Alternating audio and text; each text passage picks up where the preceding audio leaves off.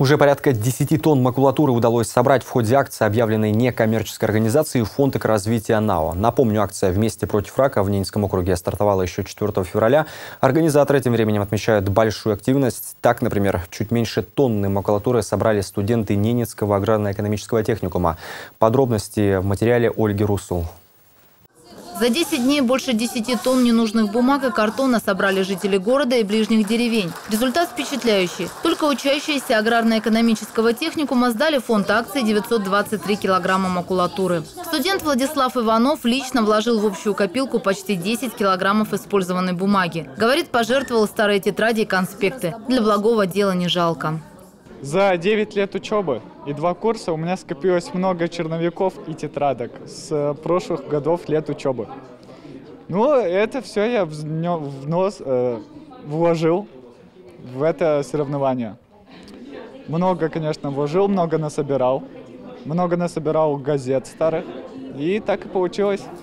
Самый скромный вклад в тонну макулатуры от студентов – 21 килограмм. Самый значительный – 551. Его внесли учащиеся группы 284 и заняли первое место в соревновании по сбору. Мы решили собраться всей группой и собирать все вместе, то есть э, в разных ну, организациях. Ну, кто где мог, дома, кто-то бабушкам звонил, кто-то вот где родители работали, все собирали вот, и вывозили тоже вместе, ну, то есть всей группой. Акция, объявленная Фондом экологического развития, совпала со всероссийским экологическим квестом, в котором студенты техникума также принимают участие. Одно из заданий в нем – сбор макулатуры. Кстати, по результатам рейтинга ребята из НАЭТа сейчас на пятом месте из 100 регионов участников.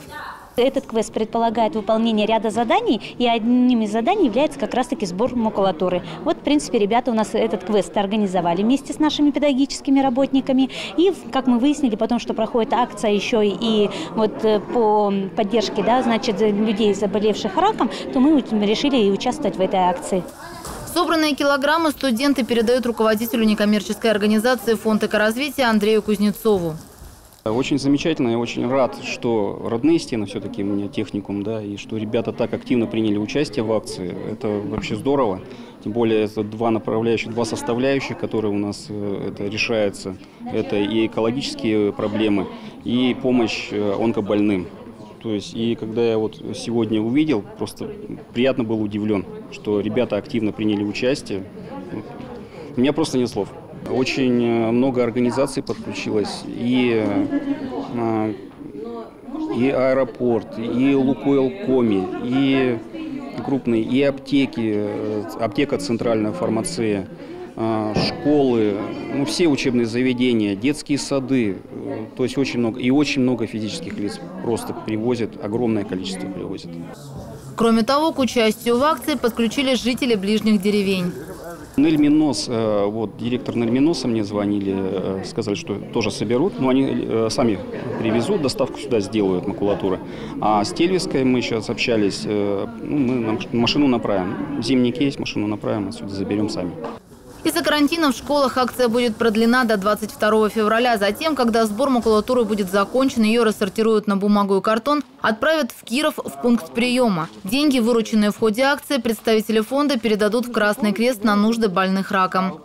Ольга Руслан, Леонид Шишелов, телеканал «Север».